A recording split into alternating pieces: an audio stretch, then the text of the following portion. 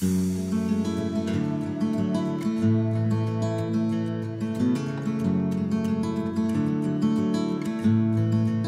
C1.5 still apply if I have a basement car park? C1.5 is that provision, two-storey class 2, 3 or 9C buildings in volume 1.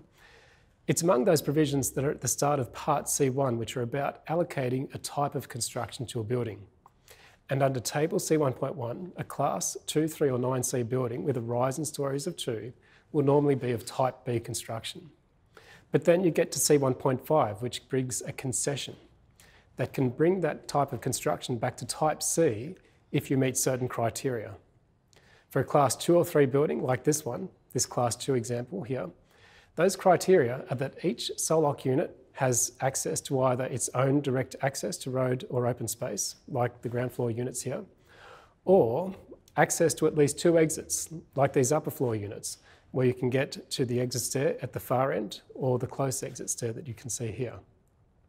So under that concession, C1.5, this building can be a type C building. But what if I had a basement car park? The rise in stories would still be 2, but would it still be type C? Let's have a look. Here's the provision that we're talking about, C1.5. And we're talking about a class 2 or 3 building. So straight away, we can ignore B for now, though I will come back to that in a little while. The first thing to note is that the provision refers to a building that is class 2 or 3. It's not mentioning a class 7A car park or any other classification. So on that basis, many would say that the answer is no. You can't have a basement car park. But someone might say, what about A103A? A reference to a building is a reference to an entire building or a part of the building as the case requires. A10 is a rule for interpretation found at the beginning of the NCC in the governing requirements, and it says a reference to a building is reference to an entire building or a part of the building as the case requires. What does that mean? Well, it means when you pick up the NCC and see the word building, that might be everything, the entire building from footings through to roof, or it might only be a part of the building. Now, this might seem confusing, but I suggest to you that you do this all the time. Let me show you. Think of the scenario that we're working through right now. We have a class two building of two stories, that's above the ground, rising stories of two. We have a class 7A basement car park. Let's leave section C for a while and we'll go to section E, services and equipment. Now E1.4 is about providing fire hose reels to a building. And if the basement is greater than 500 square metres, then it's going to need fire hose reels, yes?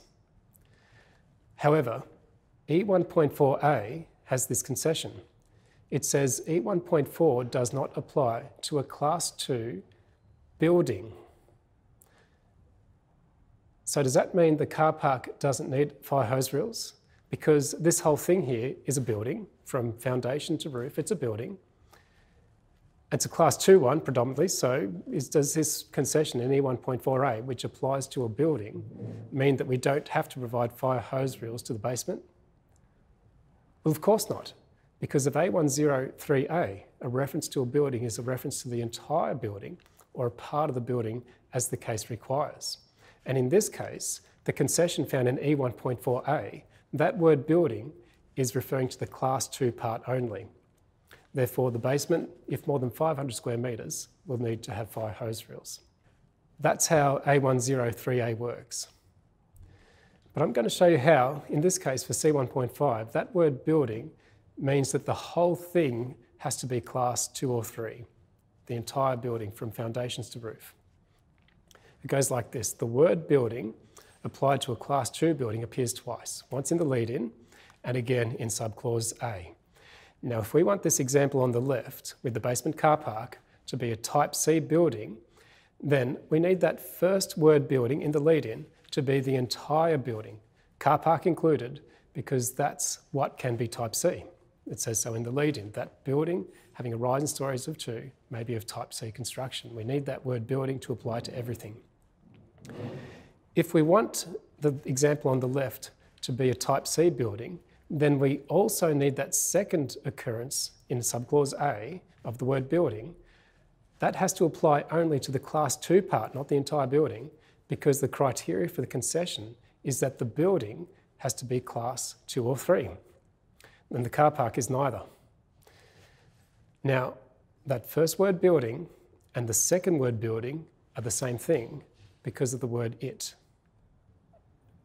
The building is type C if it is class 2 or class 3 for that matter. And so the whole building on the right is a type C building. It's class 2, it meets the criteria. But the whole building on the left, foundation to roof, doesn't meet all the criteria for the concession and therefore needs to be a type B building because it's not all class 2 or 3. The 7A part doesn't meet that criteria. And when you think about it, the building on the left is more complex than the one on the right, so it's appropriate for the concession to not apply. However, of course, this can inform a performance solution to address the implications of Type B construction. I said before that I'd come back to subclause B and notice that it's written in the same way. The word it links the word building from the lead in with the word building in the subclause, so it's the same thing and needs to be entirely Class 9C, sprinkler protected and so, and so on. So does C1.5 still apply if I have a basement car park? The answer is no. It may provide a good precedence for dealing with the implications of type B construction for a performance solution, but it's not a deemed to satisfy concession.